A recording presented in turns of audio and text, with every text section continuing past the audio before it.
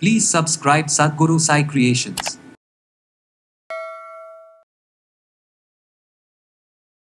சில நோய்கள் எல்லாம் ஆரம்ப காலகட்டத்திலே நம்ம வந்து ட்ரீட்மெண்ட் எடுத்தோம்னா இவ்வளோ சிவியர் ஆகியிருக்காதுல்ல அப்படின்னு நம்ம யோசிப்போம். அதில் முக்கியமாக ஒன்று தான் போன் ரிலேட்டடாக வரக்கூடிய ப்ராப்ளம் நடக்கும்போதே காலில் அஹ், கல் கலுக்குன்னு ஒரு சவுண்டு வருது.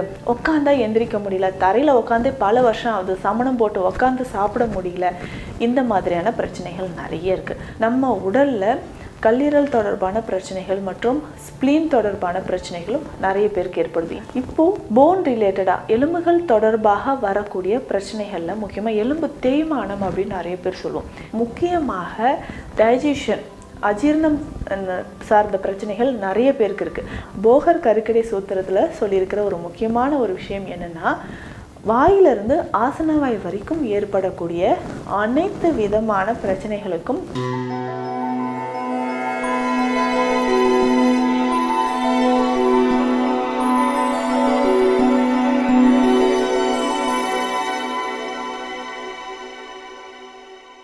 சத்குரு சாய் கிரியேஷன் வியூவர்ஸ் அனைவருக்கும் வணக்கம். நான் டாக்டர் நித்யா சித்த மருத்துவர். உணவே மருந்து அப்படின்ற அடிப்படையில் நம்ம சாப்பிடக்கூடிய உணவில் நோய் நிலைக்கு ஏற்ற மாதிரியான மூலிகைகளை உணவாக தான் நம்ம சாப்பிட்டுட்டு இருக்கிறோம். அதுதான் சித்த மருத்துவத்தோட அடிப்படை கோட்பாடும் கூட.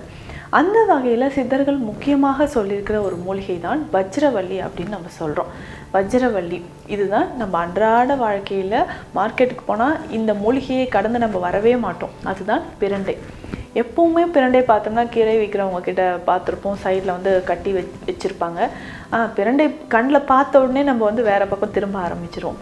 ஏன்னா இதில் பார்த்தோம்னா நம்ம அவாய்ட் பண்ணுற நம்ம விலக்கி வைக்கிற இந்த பிரண்டையில் தான் ஏகப்பட்ட மருத்துவ குணங்கள் இருக்குது பல நோய்களுக்கு இந்த பிரண்டையிலே தீர்வு இருக்குது சில நோய்கள் எல்லாம் ஆரம்ப காலகட்டத்திலே நம்ம வந்து ட்ரீட்மெண்ட் எடுத்தோம்னா இவ்வளோ சிவியர் ஆகியிருக்காதுல்ல அப்படின்னு நம்ம யோசிப்போம். அதில் முக்கியமாக ஒன்று தான் போன் ரிலேட்டடாக வரக்கூடிய ப்ராப்ளம் அதாவது எலும்புகள் தொடர்பாக வரக்கூடிய பல பிரச்சனைகளுக்கு இந்த பிரண்டை ஒரு முக்கியமான தீர்வாக இருக்குது அதே மாதிரி தான் இன்றைக்கி நம்ம பார்த்துட்ருக்கிற இருதயம் தொடர்பாக வரக்கூடிய பிரச்சனைகளாக இருந்தாலும் சரி கல்லீரல் தொடர்பான லிவர் டிசார்டர்ஸ் எதுவாக இருந்தாலும் மற்றும் கிட்னி ஃபெயிலியர்ஸ் சொல்கிறோம் இந்த மாதிரி மேஜர் இஷ்யூஸ் ஸோ இந்த மாதிரி டிசீஸ் எல்லாமே பேசிக்காக நம்ம பிரண்டையை யூஸ் பண்ணோம்னா இவ்வளோ சிவியராக இருக்காதுல்ல அப்படின்னு நம்ம சொல்லலாம். இப்போது போன் ரிலேட்டடாக எலும்புகள் தொடர்பாக வரக்கூடிய பிரச்சனைகளில் முக்கியமாக எலும்பு தேய்மானம் அப்படின்னு நிறைய பேர் சொல்லுவோம்.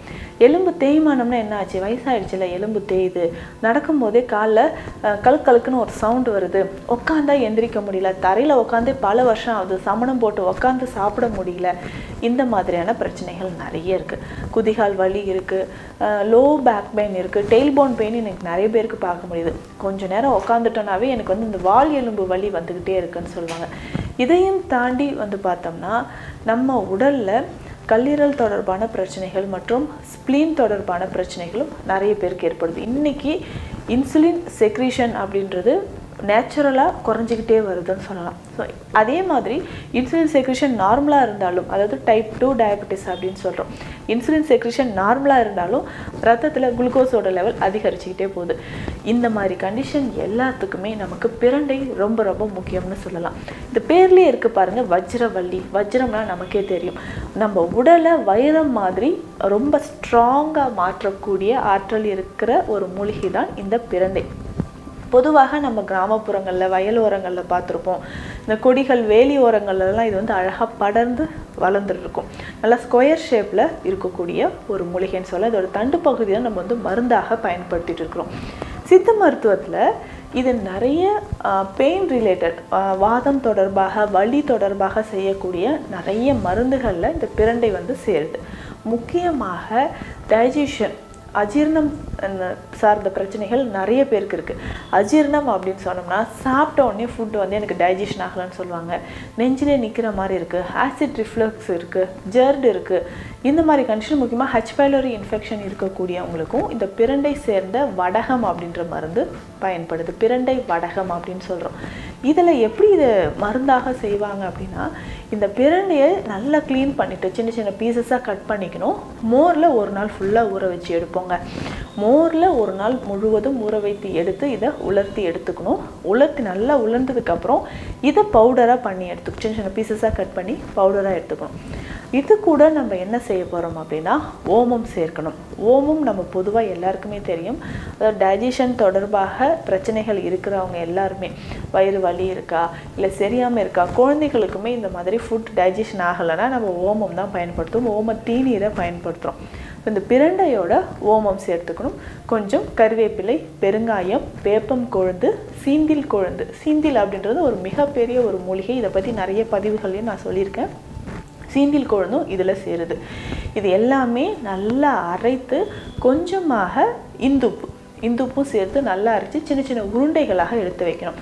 இதுதான் வடகம் அப்படின்னு சொல்கிறோம் பொதுவாக வடகம் அப்படின்றது நிறைய மூலிகைகளை அரைத்து எடுத்து அதை உருண்டைகளாக ஒரு குரூப்பாக அந்த மெடிசன்ஸ் வந்து இருக்கணும் அப்படின்றதுக்காக தான்.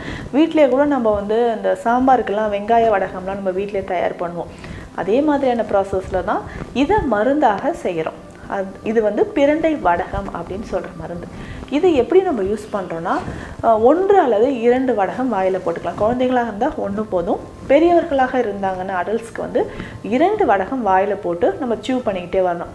அப்போ அது வந்து சலைவாவோட மிக்ஸ் ஆகி அதாவது உமிழ்நீரோடு நல்லா சேர்ந்து நம்ம உள்ளே விழுங்கிக்கிட்டே வரும்பொழுது அதிகமான நமக்கு வந்து டைஜஷன் ப்ராப்ளம் இருக்குது கான்ஸ்டிபேஷன் இருக்குது அதே மாதிரி ஃபிஷர் ஆனல் ஃபிஷர் நிறைய பேருக்கு இருக்கும். அதற்குமே இதை நம்ம பயன்படுத்தலாம்.